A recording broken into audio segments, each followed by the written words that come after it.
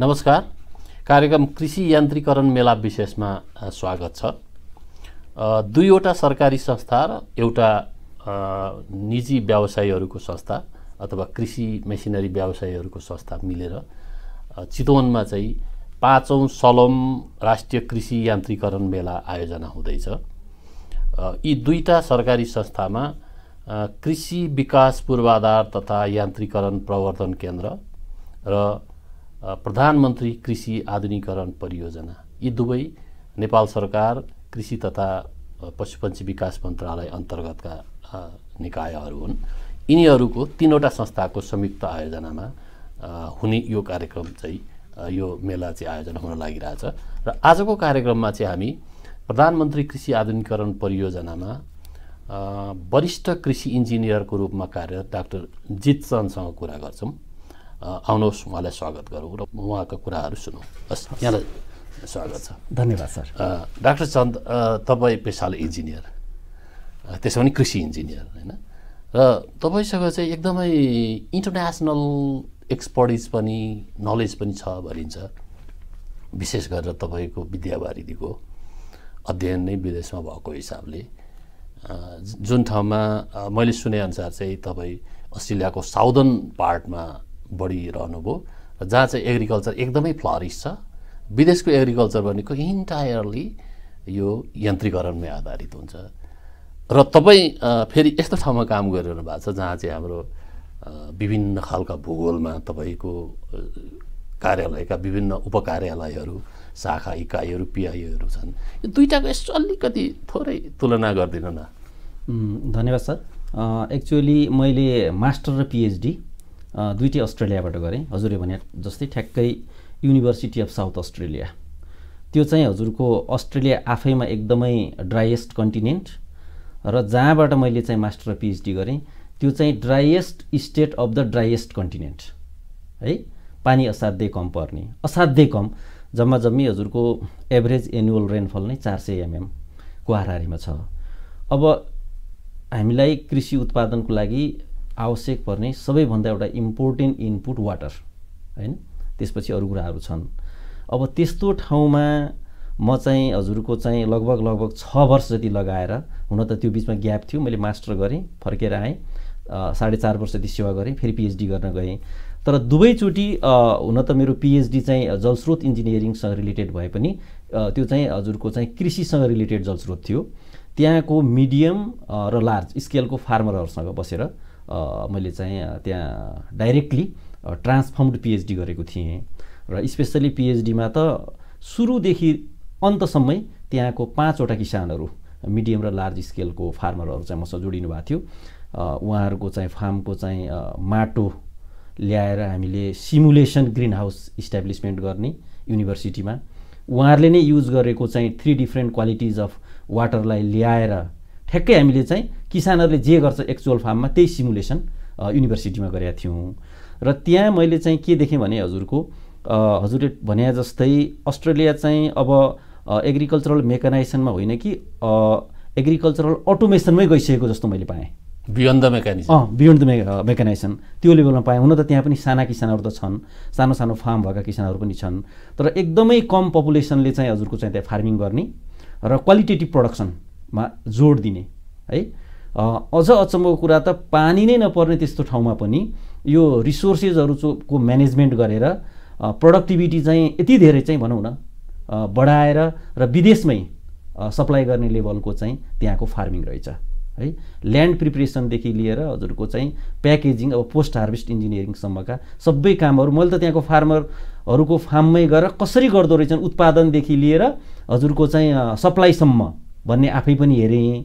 र सँगसँगै नेपाली केही हाम्रा चाहिँ साथीहरूले पनि त्यहाँ राम्रो चाहिँ हर्टिकल्चर फार्महरू चाहिँ इस्ट्याब्लिस गरे। अनि त्यसपछि उनीहरूको चाहिँ फार्मको चाहिँ हजुरको चाहिँ सोइल चाहिँ चेक गरिदिने एग्रिकल्चरल पोइन्ट अफ भ्यूबाट ठिक छ कि छैन? वाटर क्वालिटी चेक गरिदिने ड्रिप इरिगेसनहरू सेटअप गरिदिने ग्रिन हाउसको डिजाइन गरिदिने त्यति लेभलको मैले त्यहाँ काम गरेँ र इन्टरनेसनल एक्सपर्टिज पनि भयो। अस्ट्रेलियाको second largest green house farm visit गरेँ। सबै कुराहरू उनीहरूको एनालाइसिस पनि गरेँ।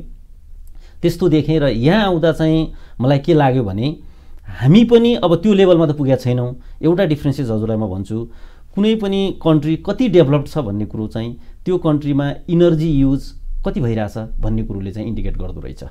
यो चाहिँ हजुरको यो प्रुभ भएको फ्याक्ट हो। सँगसँगै एग्रिकल्चर चाहिँ कुन लेभलमा पुगेको छ? मेकानाइजेसन इन्डस्ट्री है कुन लेभलमा पुगेको छ भनेपछि त्यो त्यहाँको एग्रिकल्चरमा पा फार्म पावर र मेसिनरिजको युज इनर्जीको युज कुन लेभलमा पुगेको छ भन्ने कुराले पनि इन्डिकेट गर्छ। अस्ट्रेलियामा हजुरको एट किलोवाट पर हेक्टरको एभरेजमा इनर्जी युज रहेछ। र नेपालमा चाहिँ एभरेज हजुरको यो नेपालको चाहिँ नेसनल एभरेज चाहिँ जिरो पोइन्ट सेभेन एकदमै साइन्टिफिकली अध्ययन त भएको छैन तर below one kilowatt per hectare आठ छ। उहाँ आठ किलोवाट पर हेक्टर छ।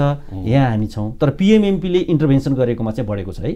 त्यो पछि चाहिँ म हजुरलाई भनौँला पिएमपीको कुरा आएपछि त्यो लेभलको छ। र सँगसँगै अब मेसिनरिजहरूको युज र अस्ट्रेलिया र यहाँ अलिकति के फरक भनेपछि हजुरको त्यहाँ एकदमै लार्ज स्केलको फार्महरू छ। जसले गर्दाखेरि मेकनाइजेसनको चाहिँ लेभल एकदमै सजिलो पनि छ मेसिनहरू युज गर्न नयाँ टेक्नोलोजीहरू युज गर्न।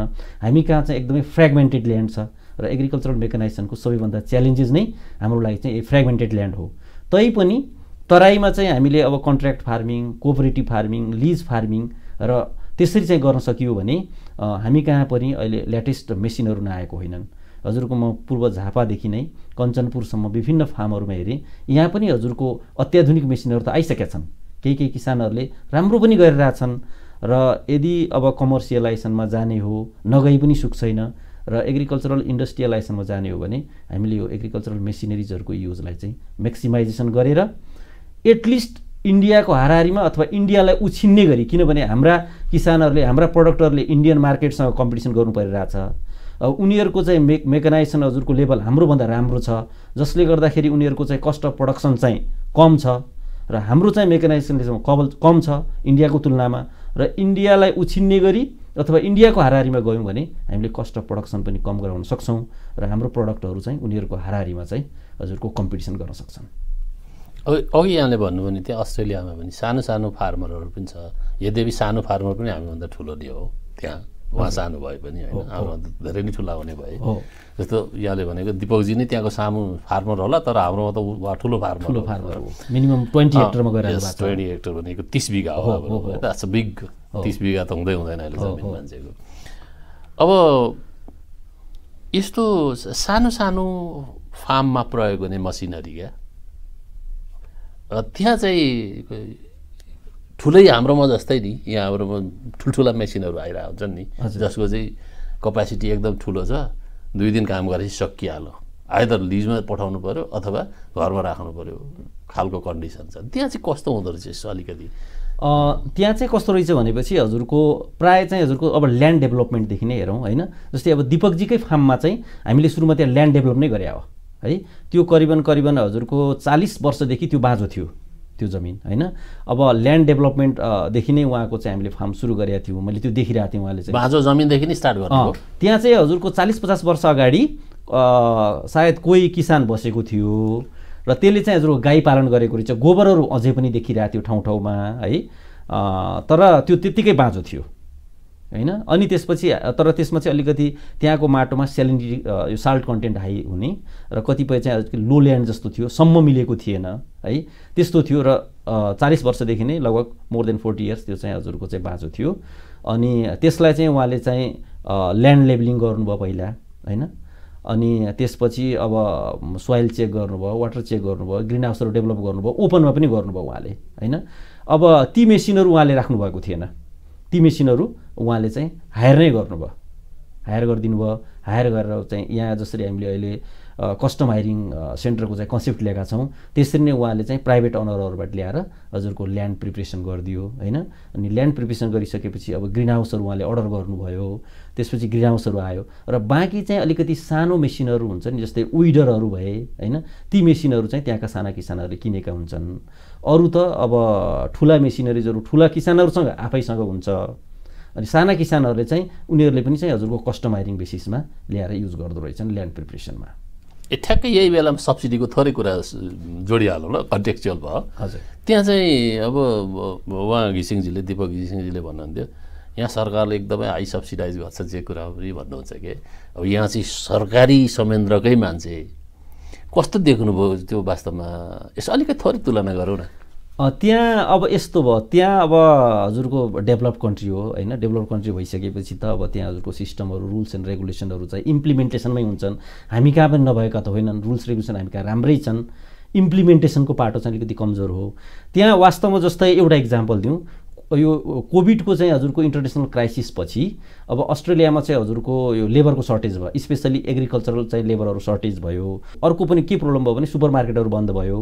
त्यसपछि हजुरको उनीहरूले चाहिँ प्रड्युस गरेको चिजहरू कहाँ के गर्ने होइन? कहाँ लगेर बेच्ने भन्ने उनीहरूलाई समस्या भयो। त्यो किसानहरूले भोगे दिपकजीहरू जस्तै अलमोस्ट किसानहरूले चाहिँ भोगेका थिए। तर सरकारले चाहिँ के गरिदियो भनेपछि हजुरको उसले चाहिँ लेबरहरू चाहिँ पठाउने काम गर्यो। जस्तै अस्ट्रेलियामा पनि हजुरको आठ पर्सेन्ट कहिलेकाहीँ पाँच पर्सेन्ट कहिलेकाहीँ बिलो टेन पर्सेन्टको हाराहारीमा हुन्छ नि त हजुरको। त्यहाँ पनि अनइम्प्लोइड हुन्छन् होइन?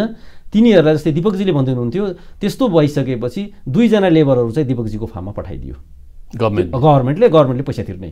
तर अब त्यसको चाहिँ हजुरको इफिसियन्सी उनीहरूको वर्कम्यानसिप होइन? त्यो आदि इत्यादि आफ्नो ठाउँमा भए। तर दुईवटा लेबरहरू चाहिँ गभर्मेन्टले चाहिँ हजुरको आफै पैसा तिर्ने गरी उनीहरूले पठाइदियो जसले गर्दा अब दिपकजीहरू जस्ता किसानहरूलाई सजिलो भयो लेबर म्यानेजमेन्ट गर्न र पैसा पनि तिर्नु परेन। अदरवाइज हजुरको अस्ट्रेलियामा चाहिँ मैले एउटा इकोनोमिक एनालाइसिस गरेको थिएँ। पिएचडीमा एउटा पार्ट इकोनोमिक थियो। लेबरमा चाहिँ हजुरको धेरै पैसा जान्छ। त्यहाँ चाहिँ लेबरहरू एकदमै महँगो हुन्छ होइन? घन्टाको चाहिँ तेइस डलर चौबिस डलर तिर्नुपर्ने हुन्छ हजुरको किसानहरूलाई पनि। भनेपछि आठ घन्टा मात्रै गर्नु पऱ्यो भने पनि एकदमै राम्रो पैसा चाहिँ एउटा ठुलो एमाउन्ट चाहिँ हजुरको लेबरमा जान्छ। र त्यो चाहिँ किसानलाई चाहिँ एउटा सब्सिडीकै रूपमा आयो। र अर्को चाहिँ सब्सिडी भन्दा पनि अझ भनौँ इम्पोर्टेन्ट कुरा चाहिँ हजुरको यो जुन एग्रिकल्चरलाई चाहिने इनपुटहरू छ नि इम्पोर्टेन्ट त्यो इनपुट चाहिँ को एभाइलेबिलिटी चाहिँ चौबिसै घन्टा भयो क्या हजुरको। यहाँ त हामी कहाँ किसानलाई चाहिएको बेला सिडको एभाइलेबिलिटी फर्टिलाइजरको एभाइलेबिलिटी मेसिनरिजको एभाइलेबिलिटी होइन? लेबरको एभाइलेबिलिटी एकदमै गाह्रो छ नि त हजुरको। त्यो एभाइलेबिलिटीमा मैले कहिले पनि त्यहाँ देखिनँ।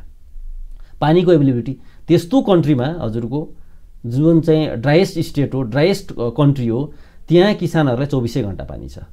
र ती एभाइलेबिलिटी भनेको पनि सरकारले एउटा राम्रो व्यवस्थापन गरिदिएको भनेर मान्नु पऱ्यो होइन? र मैले कहिले काहीँ सोध्थेँ हामी कहाँ यो इम्प्रुभ सिडको चाहिँ कमी हुन्छ? अनि त्यसपछि केमिकल फर्टिलाइजरको पनि कमी हुन्छ? जसले गर्दा किसानहरूले चाहिँ राम्रो उत्पादन लिन पाउँदैनन्। र त्यहाँ भन्दा यो त हामीले कहिले सोचे सोच्दै सोच्दैनौँ यो त। जब हामीलाई चाहिन्छ हामी चाहिँ डिलरमा जान्छौँ। हामीलाई चाहिँ यस्तो चाहिँ प्रब्लम होला भनेर कहिले पनि उनीहरूले चाहिँ त्यो चिन्ता गर्दैनन्। त्यो प्रकारको चाहिँ हजुर। त्यसपछि त हजुरको युवाहरू अथवा केही गर्न चाहनेहरू त्यसप्रति आकर्षित हुने भए हामी कहाँ आकर्षित हुन नसक्नुको एउटा कारण यो पनि त हो। यो जुन इनपुटहरू छ इनपुटहरू चाहिँ हामीले चाहिँ को availability proper availability timely availability गराउन सकेका छैनौँ। अब अहिले नै हजुरलाई थाहा छ अब मलको चाहिँ ठुलो समस्या पर्नेवाला छ होइन? पानीको समस्या छ हाम्रो यसरी जलस्रोतको यति ठुलो धनी भएर पनि हामीले चाहिँ टेल टेल इन्डमा चाहिँ फार्मरहरूलाई चाहिँ पानी पुर्याउन सकेका छैनौँ। त्यो फरक चाहिँ त्यहाँ र यहाँ रहेछ हजुरको। अलिकति फेरि अब हुन त यहाँले भन्नुभयो मल अथवा सबै किसिमका इनपुट्सहरू नै आधुनिकीकरणको बेस त भयो त स्वाभाविक रूपमा। तर आज हाम्रो अलिकति यो यान्त्रिकरणसँग सम्बन्धित भएको हुनाले अघि यहाँले सुरुमा भन्नु पनि भयो फ्रेगमेन्टेड ल्यान्ड छ टुक्रा टुक्रा छ पहाड छ झन्डै झन्डै सत्तरी पर्सेन्ट त हाम्रो पाहाडै छ होइन? अब यस्तोमा फिट हुने खालका मेसिनरी क्या? यहाँ चाहिँ अब इन्जिनियर भएको हिसाबले टेक्निकल्ली अब त्यसैसँग रिलेटेड भएको हुनाले यस्तो खालको मेसिनरी हामीले डिजाइन गर्न सक्ने नसक्ने अथवा कम्पनी जसले यहाँ बेच्छ नि मेसिनरी यदि तिमी नेपालमा चाहिँ तिमी ट्रेड गर्न चाहन्छौ बिजनेस गर्न चाहन्छौ भने यस्तो खालको बनाइदेऊ भन्न हामीले सक्ने नसक्ने अवस्था कस्तो छ? हजुर बहुत इम्पोर्टेन्ट क्वेसन गर्नुभयो। अब हामीहरूले भन्ने गर्छौँ कहिलेकाहीँ डिस्कसनमा मैले भन्छु एउटा चाहिँ सबैभन्दा मोस्ट च्यालेन्जिङ टास्क र most important need pressing need यो प्रोफेसनल एग्रिकल्चरल इन्जिनियर्सहरू र एग्रिकल्चरल इन्जिनियरिङको साइन्टिस्टहरूलाई नि हजुरको चाहिँ यही हाम्रो ले on the basis of land holding size on the basis of socio economic strata र अन द बेसिस अफ हजुरको यो टोपोग्राफिकल बायोडाइभर्सिटीमा प्रोपर फर्म पावर र मेसिनरिजहरूको आइडेन्टिफाई गर्ने अथवा डिजाइन गर्ने अथवा सिफारिस गर्ने यो एकदमै मोस्ट इम्पोर्टेन्ट पनि हो र च्यालेन्ज पनि हो होइन? मैले अघि हजुरलाई उदाहरण दिएको थिएँ जहाँ चाहिँ लार्ज चाहिँ हजुरको चाहिँ प्लटहरू हुन्छ त्यहाँ फर्म पावर मेसिनरिजको युज गर्न धेरै सजिलो छ। हामी कहाँ एभरेज ल्यान्ड होल्डिङ साइजै हजुरको जिरो पोइन्ट सेभेन हेक्टर छ होइन?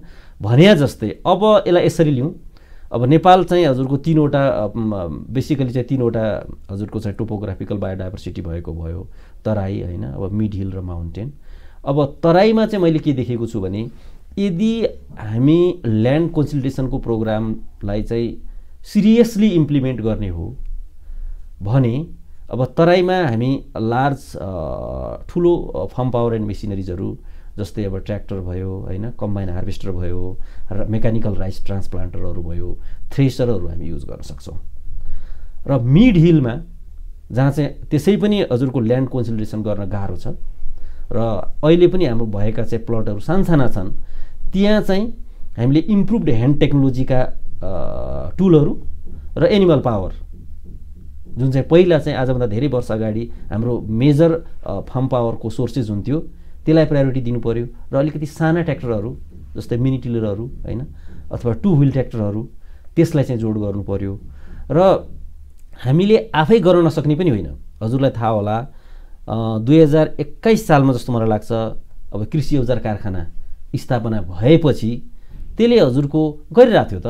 त्यसले हजुरको चाहिँ कर्न थ्रेसर है त्यसपछि व्हिल ब्यारो पम्प सेटहरू होइन त्यसले त्यतिखेर चाहिँ हजुरको चाहिँ म्यानुफ्याक्चर गरिरहेको थियो।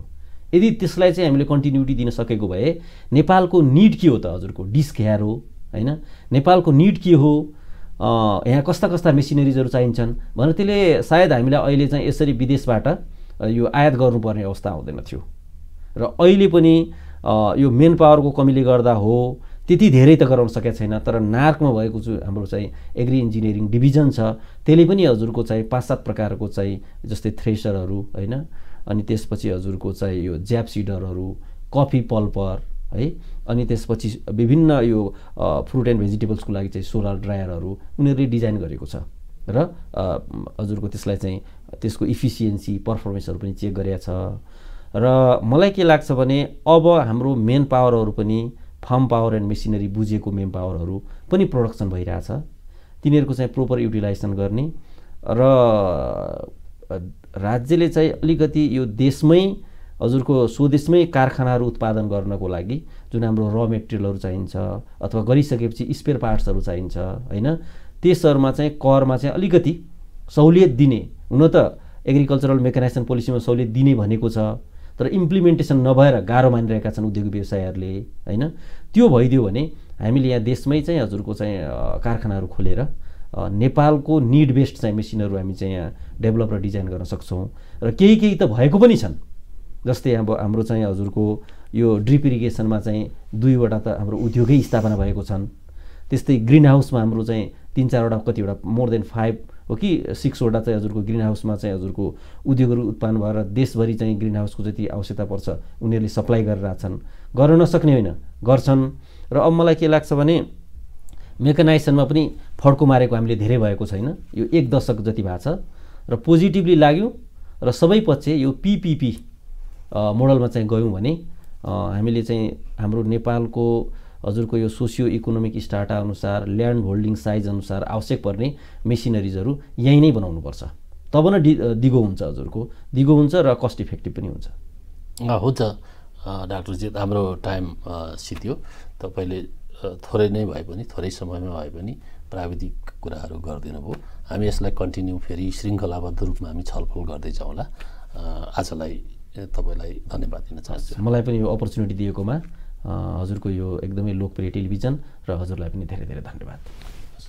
आजको कार्यक्रममा हामीले यही यान्त्रिकरण बारेमा छलफल गऱ्यौँ र यो अलिकति ओपनिङ टाइपको भएको हुनाले हामीले थोरै समयमा थोरै कुरा गऱ्यौँ। डाक्टर चन्दसँग फेरि हामी फर्दर डिस्कस गरौँला आजलाई यहीँ बिदा दिनुहोस् धन्यवाद।